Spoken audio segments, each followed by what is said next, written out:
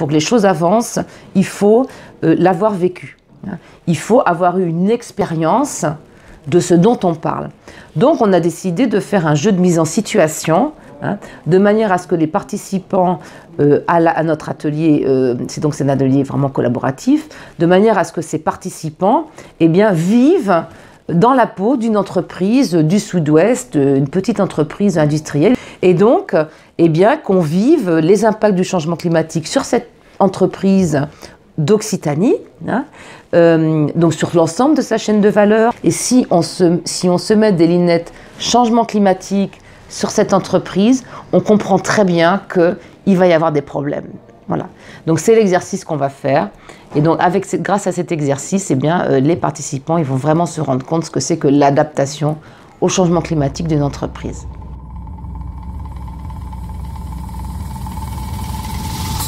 Je m'appelle euh, Rachel Jouan, euh, je suis directrice de Climat Adaptation Consulting. Euh, mon parcours a commencé dans l'industrie pharmaceutique vétérinaire, hein, je suis vétérinaire.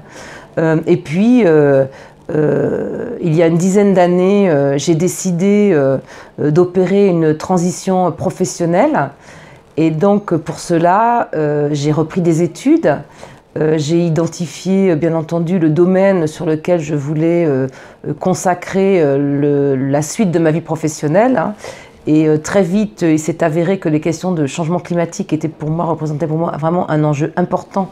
et en termes de sens professionnel, pour moi, c'était important d'aller là-dessus. Donc, je, je, me suis installée, j'ai créé mon entreprise il y a dix ans. Euh, et aujourd'hui, eh bien, dans cette entreprise, nous sommes deux. Hein. Je travaille avec Lisa Russo, qui est économiste, donc, euh, et moi-même. Euh, et ce qui se passe, c'est qu'on opère dans trois domaines. le premier domaine, c'est tout le domaine de, diagnostic de vulnérabilité. C'est comme ça que ça s'appelle dans ce langage-là, hein, au changement climatique.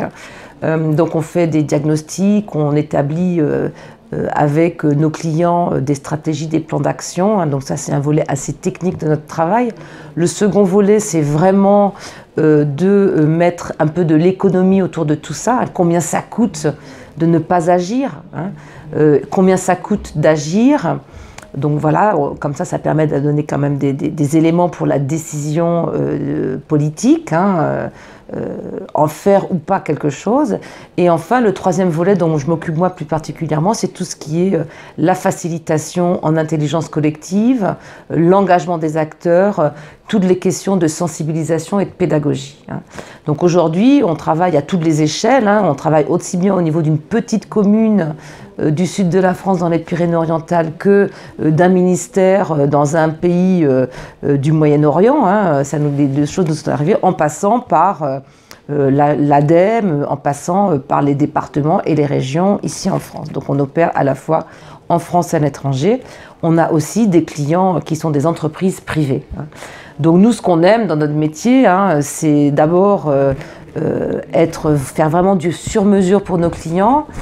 Aujourd'hui, au bout de dix ans, là où on en est, c'est qu'on est certain que les changements se font par le bas et surtout, les changements se font lorsque c'est le client qui fait les choses, qui se rend compte par lui-même euh, de ce qui euh, peut se passer avec le changement climatique sur son activité et quand c'est le client qui imagine et qui, et qui crée ses propres solutions.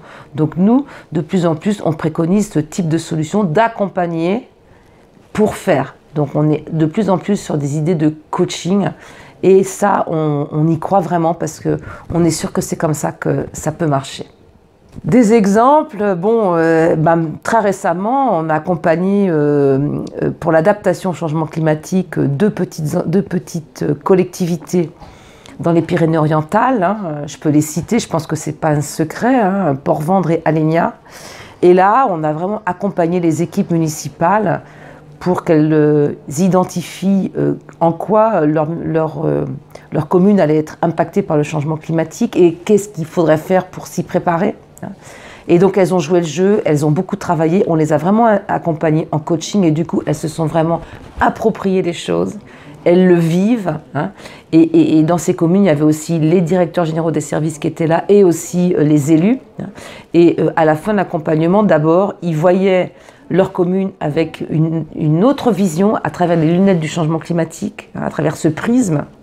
Et donc, en fait, euh, une des élus nous a dit, par exemple, bah, écoutez, moi maintenant, à chaque fois que je traverse la place du village, sous les arbres, je me rends compte de l'importance de rafraîchir l'espace urbain avec la végétalisation. Hein. Ça, c'est la première chose. Donc, en termes d'appropriation des enjeux, ça a été extrêmement fort. Et ensuite, en termes d'action, ben, évidemment, ils ont identifié plein de choses qu'ils pourraient faire, mais surtout, euh, ils ont eu l'occasion de faire un exercice en, conditions réelles euh, les 23 et 24 octobre dernier. Et donc, qu'est-ce qui s'est passé les 23 et 24 octobre dernier dans les deux communes? Et ben, Dès le matin de l'annonce de, des inondations, tout le monde était prêt tout, est, tout s'est préparé. On ne s'est pas posé des questions de est-ce qu'on fait ci, est-ce qu'on fait ça. Tout le monde savait ce qu'il avait à faire. Et finalement, alors qu'il y a eu beaucoup d'eau, eh bien, il n'y a eu absolument aucun dommage dans aucune des communes. Et ça, vraiment, bah, là, on est utile. C'est vraiment pour le coup, euh, non seulement euh, nous, notre travail, il a été hyper utile, mais surtout, aujourd'hui, euh, ces équipes-là, nous ont, dit dans, nous ont dit dans un sondage à la fin de l'accompagnement qu'elles elles seraient capables de recommencer toutes seules ce plan d'adaptation. Alors, ce qui m'a amené à participer à For Climate, c'est que euh, tout d'abord, euh, je connais euh, ce collectif hein, depuis longtemps, puisque ça fait longtemps que, que je fais partie du collectif Toulouse 3C, par exemple, hein, qui est communication de la, de la transition. Voilà. Euh, et, du coup, on est tout un groupe de, consultants, euh, euh, de créatifs, etc. Enfin bon, tout un groupe de personnes qui travaillons autour de ces problématiques de transition. Et du coup, lorsque l'idée a émergé début septembre, eh bien, moi, je me suis vraiment dit que j'avais quelque chose à faire là-dedans, d'autant que la cible du D'autant que la cible de Act for Climat est beaucoup une cible d'entreprise. Hein. Et donc moi, même si j'ai quitté le monde de l'entreprise, j'ai quand même passé 20 ans. Hein. Et donc du coup, aujourd'hui, euh, eh bien, je sais bien que les entreprises, quand on leur parle d'action climatique, euh, elles pensent principalement euh, aux économies d'énergie, euh, au développement d'énergie renouvelable, à la mobilité, au covoiturage, euh, euh, au télétravail, pourquoi pas mettre une ruche dans la cour ou dans le jardin de l'entreprise, etc. Donc ça, c'est ce qu'on appelle l'atténuation du changement climatique. Mais par contre, très peu sont les entreprises qui pensent à ce que le climat pourrait leur faire. Hein. Et donc, du coup, les entreprises, pour la plupart, ne sont pas du tout adaptées aux impacts du changement climatique qui pourraient les toucher. Hein. Et donc, euh, c'est ce qu'on appelle l'adaptation au changement climatique. Et c'est ce dont je m'occupe. Hein. c'est vraiment la mission de Climate Adaptation Consulting. Donc, euh, ce que je me suis dit, c'est qu'il euh, y avait un vrai besoin de sensibiliser les collaborateurs et patrons d'entreprise, hein, donc tous les gens qui s'occupent de RSE, de gestion des risques, d'opérations de, industrielles, de logistique, toutes ces personnes euh, devaient euh, être sensibilisées sur les risques euh, du changement climatique sur l'ensemble de la chaîne de valeur de l'entreprise, hein, et puis aussi se rendre compte qu'aujourd'hui, il y a plein de choses déjà à mettre en œuvre au sein de l'entreprise pour se préparer petit à petit. Je crois plus aux conférences Hein. Je crois plus euh, aux messages qui viennent du haut des experts qui disent voilà, c'est comme ça que ça va se passer chez vous, il faut faire ci, il faut faire ça. Moi, j'y crois plus du tout. Donc, je suis aujourd'hui de plus en plus convaincue que pour que les choses avancent, il faut euh, l'avoir vécu. Hein. Il faut avoir eu une expérience de ce dont on parle.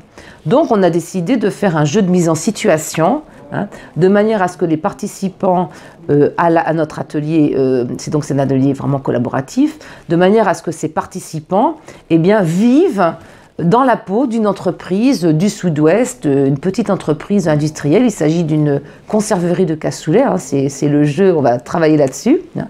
Et donc, eh qu'on vive les impacts du changement climatique sur cette entreprise d'Occitanie, euh, donc sur l'ensemble de sa chaîne de valeur. On part du haricot qu'on achète en Australie, jusque la fabrication, euh, finalement, hein, la marmite magique de cassoulet, euh, la fabrication dans l'entreprise ici sur une zone industrielle inondable, hein, jusqu'à l'assiette des consommateurs Hein. Moi, je me souviens que lorsque je suis arrivée dans la région il y a 35 ans, dans toutes les fêtes de village, l'été, on mangeait du cassoulet. Aujourd'hui, on n'en mange plus.